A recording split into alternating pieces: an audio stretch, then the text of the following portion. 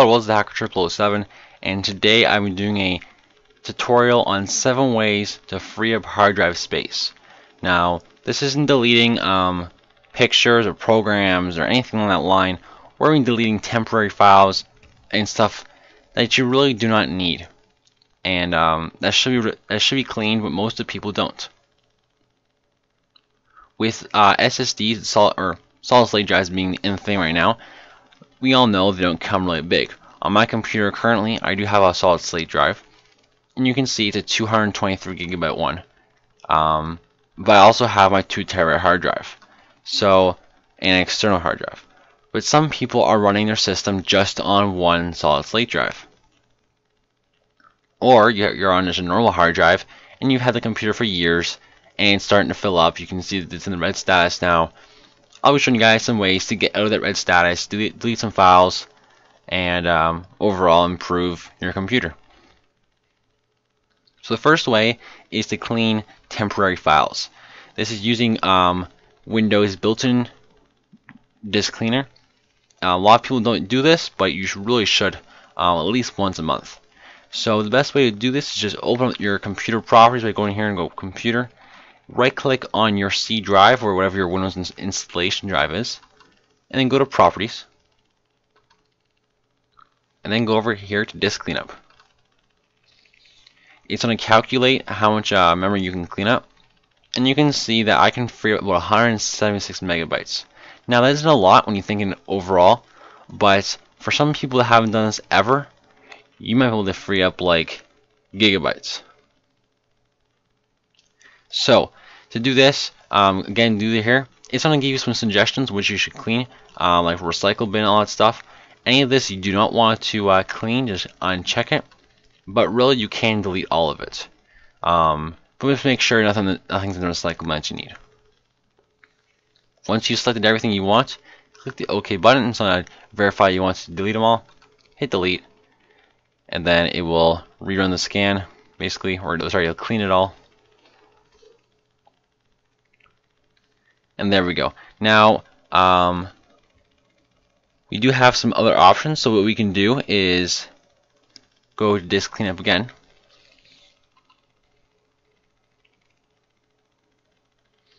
And then we can go to the more options button here. And we can go clean up here. So basically what this is going to do is you can remove disk space by removing all but the most recent restore points. So what the restore point is going to do is you have restore points in the system and what you can do is you can delete them all but your last one. Now don't do this the, if you use them all the time. If you don't if you never use it, um, this is a decent idea because now you're gonna free up for sure gigabytes. So you can go now I don't even use that that um soft the backup so I can't delete it because nothing to delete. But what you can do is you can clean up here and go hit delete. Alright, so our next one is going to be very simple, uninstalling software. So right from here, you can go to uninstall or change the software, and you guys can see um, by going from size, if you click the size button, it will actually put the biggest software at the top and smallest at the bottom. Now you can go through and say, do I need this? So at the top, I have Adobe Photoshop at almost 3 gigabytes. Now, do I need that? Yes. My next one is Adobe After Effects, all the Adobe software at the top. So as I'm going down here, I'm going to look at stuff that I maybe do need and don't need. Now, I'm uh, very conscious when I'm installing in installing software, so I don't have too much stuff, um, especially on this computer, that is useless. But for people who have gotten a computer from someone else, it's actually a good idea to uninstall software you don't need or never use. So this is an easy way of finding out what's really taking up space on your hard drive. The next one is using a software called WinDirStat, which is this software right here. This will be available in the uh, down description below. And basically, after installing this program, you're going to open it up and you can select any all the individual drives or any drive you want. Click OK.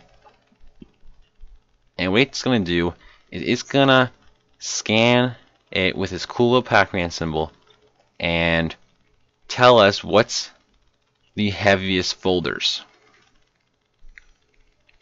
So this is similar to what, uh, we just did, except what this is going to do is going to give us a cool little pictures, and also it's going to tell us not only programs but files. So you may have actually have let's let's say you might have downloaded Ubuntu, for example, but it's an old one. It, it's it's gigabytes big, but you never deleted it. Well, this program is going to tell you it's there still. So by clicking by clicking one of these big bubbles, we're going to find out what takes up the the most stuff. So this is a system file, this big blue button right here, and it's actually you know, going into properties, we can find out it is a looks like the hibernation file, which later in this video I'm actually going to show you guys how to get rid of this. But anyway, by going through here, you can actually play around and see what's the biggest files. Um, these big chunks right here, you guys can see are my virtual machines. So I have Ubuntu here, Windows 8 there, Windows 8 there, Windows 8, Mac. These chunks over here are video files. Um, movies will also pop up here. Um, if you have a movie, you're for sure gonna see them come up here. But the big one right here you're gonna see is this page file one. So I will show you guys how to get rid of that at the end of the video though. But anyway, using this program though, you will find your biggest um, hoggers on your hard drive, what's taking up the most. Obviously, you're going to see that system files are going to probably take up a lot, but this is also going to tell you what programs and what actual individual files are hogging up your system. Our next one will be using um, CCleaner. Now, again, we're going to be cleaning temporary files. Now, but CCleaner does a little bit differently. Not only does it clean temporary files, we'll be cleaning temporary files of like programs. So by having everything checked and clicking the Analyze button, we can go through and see that I have 72 megabytes cleaned. Now, it's not a lot again, but for some guys, it's in gigabytes. So go ahead, once you click that, go ahead and click Run, run Cleaner, click OK, and boom, you just cleans memory. Our next one, we find duplicate files. Now, a lot of people are surprised how many duplicate files they have, especially pictures. People have the same picture in five different locations.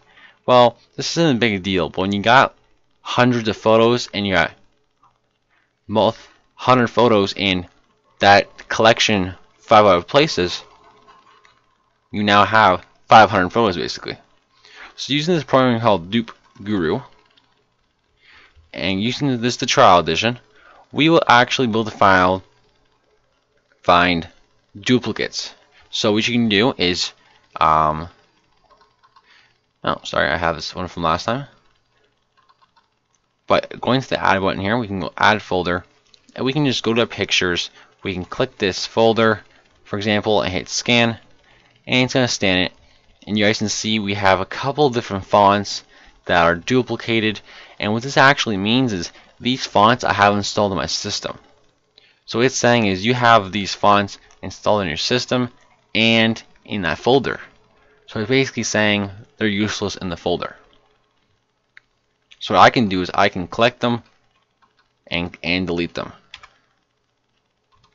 Go over here and make my uh, action doing that way. So there are duplicates. 100% match. So now I can actually go to the location of these files or I can just manually delete them using the program.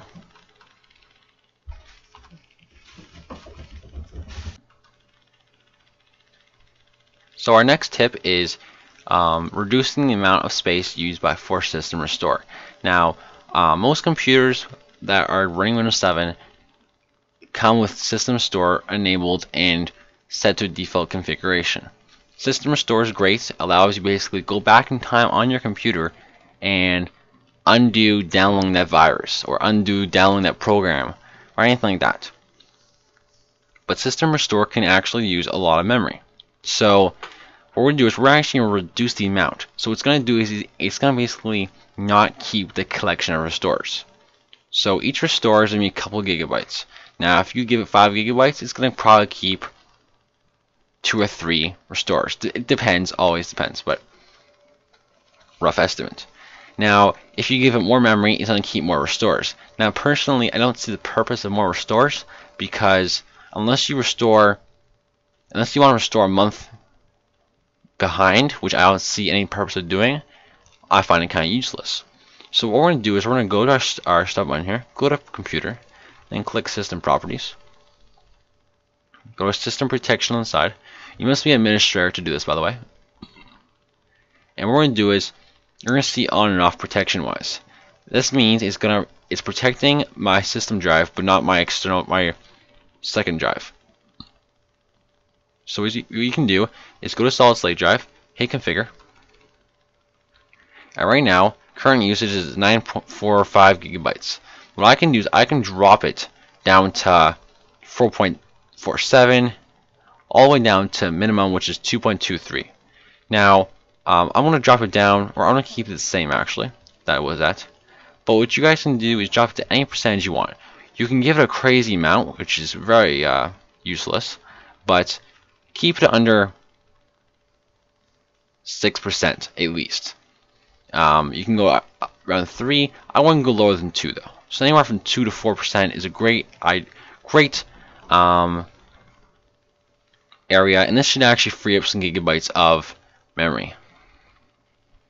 So um, the nuclear options. I call these nuclear options because these are you're desperate. You need to free up space or you're dead basically. So because we're already at this one, one of them is disable system restore. So by hitting turn off system restore, you're gonna for sure free gigabytes. Like we're talking six gigabytes at least. Especially if you're at the three or four, the maybe the five percent, you could be you could be freeing up 14 gigabytes by just clicking turn off system protection and clicking the apply button. But it does give you the risk of possibly deleting or getting a virus not being able to go back in time. So do these unless you're very desperate. Our second um, our second option here is disabling hibernate mode. Hibernate mode uses a lot of memory. So to do basically what it does though is basically saves um, everything that's being used onto a file on your hard drive. So um, in order to check if it's on or not, go into your start orb, go to a thing here, and it'll be here, hibernate. I do have a desktop computer, so mine my default is not enabled. Now if you have a laptop, 95% chance it is enabled because hibernate mode is a useful mode. But if you have to for sure delete it, to delete it, um, what you're going to do is go into our power options by clicking over here. Oh, I can't get to it. So, or you can type in power options here. and I I do have the high performance again I am using a desktop computer so battery is not an option for me so you can go here and you can uh, find different stuff so under sleep we have hibernate after so my setting is never what you can change it is to zero zero will basically make it never um, if you put it to five minutes you basically choose what you want by putting it to zero, it's going to completely disable it. And like I said, you're going to save lots of um, power. So, right, lots of memory. Another way to disable it is through the command prompt, and this is also how you can enable it. So if you go to run and put cmd and type in power cfg and then put backslash hibernate off